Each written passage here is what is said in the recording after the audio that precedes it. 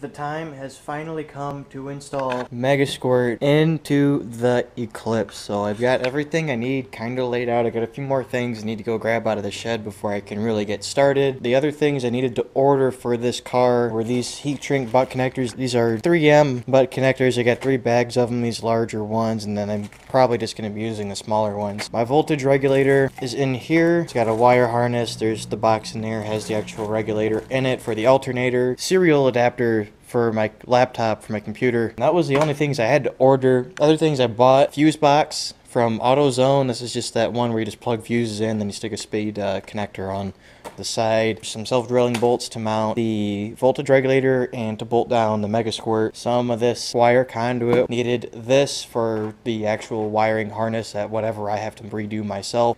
Other things, I got the wire harness which came with the Mega Squirt one thing I realized after I got it out and started looking at it is that all the wires are labeled on the very ends. They have the pin out that they are related to like where they are, where they plug into the Mega Squirt. One modification that had to be done was to run the dual coil packs that are on the car. The Mega Squirt has only one ignition output, so the modification that was done to it allows it to run two ignition coils. That's everything that I have pretty much. I'm going to start by coming over here and just removing stuff. I'm going to come up here and I'm just going to cut these wires off. I'm cut two ECUs sitting in here just because uh, this one I pulled up I got at the junkyard and was running it because it ran better than this one, but I left that one in there just in case this one took a dump on me. I'm going to go and remove all this, cut those off, I might move that fuse box out of the way and I'm going to start tracing wires back and just going to start by removing the stuff that I don't need and then identifying everything I do need and figuring out which wire is actually what. Basically, once I have everything I don't need removed, have everything organized, and I know what's what, it'll make the actual installation process very easy. Of course, one of the most important things to do anytime you're messing with wiring is to disconnect your power source so you don't melt stuff or electrocute yourself or set things on fire.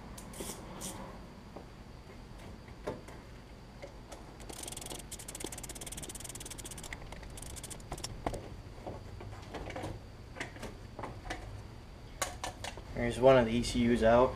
For everybody who's been wondering, because I get a lot of people that question me as to why it's so difficult finding an ECU for this car and everything. The plug on my ECU is entirely different from every other year second generation DSM. Every other 420A car that's 96 and up has two plugs running into the ECU, whereas this one has just one giant plug running into it, and that's why it had such a hard time even finding one.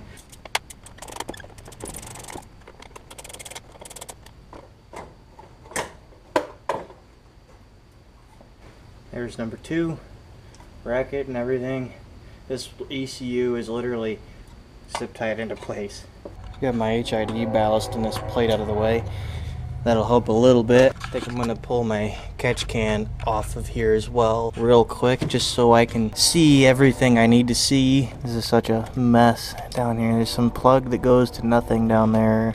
I'm gonna continue chipping away at this. I wish this was a harness I could unplug, but it isn't, so that thing's gonna have to just chill there. But I need to get this entire harness that runs to all of the sensors pulled all of the way out so that I can have access to all of the sensor wires from right here and then once I have that we'll actually start getting somewhere. Alright well I am definitely making progress. I've got the entire harness hanging out right here. There's a few sensors plugs that are still behind the engine block and there's one plug that won't come out and I think it is the one for the crank position sensor because it's got three wires that run into it. But I went in here and I've started removing the corrugated plastic or everything and uh, I accidentally cut a few wires cutting into it. But it looks like every wire I cut runs into the old ECU harness. Like that's where I'm at. I got that plastic cover off that was sitting right here and found out for some reason all the wires run into whatever this mess is. There's like two plugs, but the wires don't come out of them, so I'm not sure what the hell is going on here. I'm going to have to figure all of that out. But what I'm going to start doing now is I'm going to start peeling all of the plastic and wire protectant off of these. And I'm going to start running back towards this. And every plug or every sensor plug I don't need anymore, I'm just going to cut off of those. And then every one I still need, I'm going to also cut off and set those off to the side.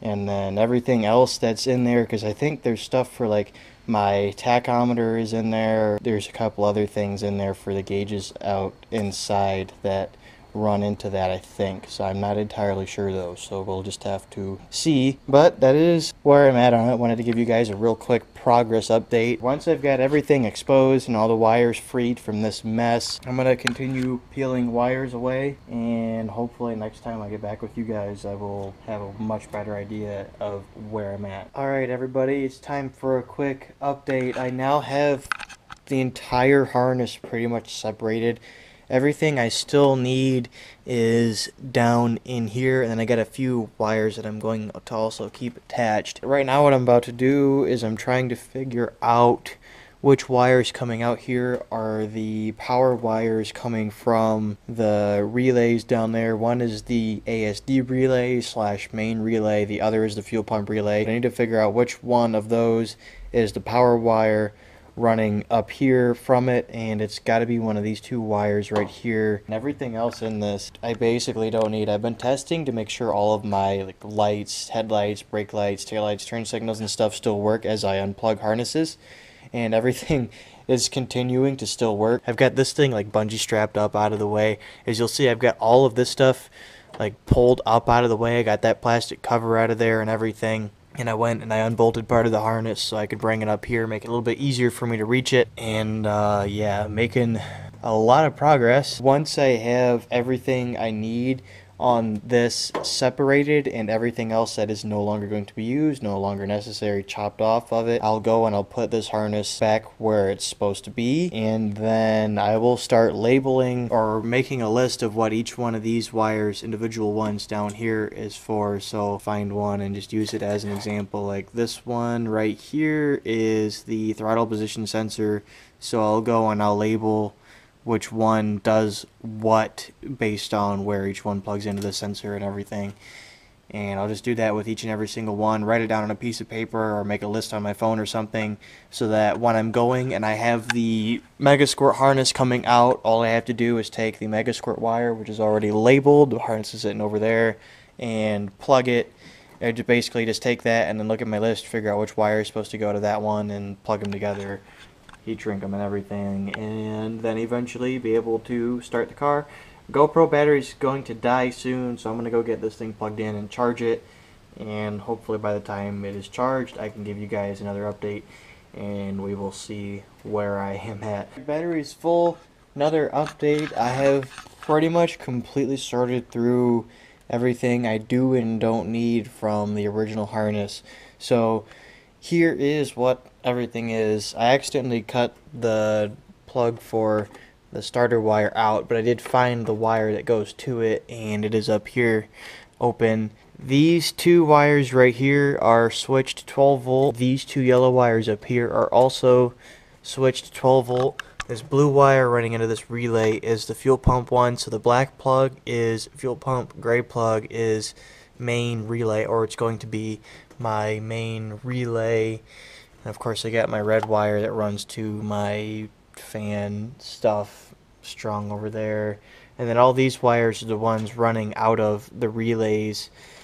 A couple of these are going to be the grounds going in. And then two of them are power going in.